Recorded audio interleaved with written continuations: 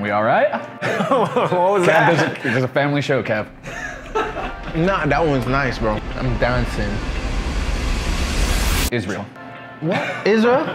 Travel with my. Before us, we have eight salsas, all from the greatest state in the United States, New Mexico. Yeah,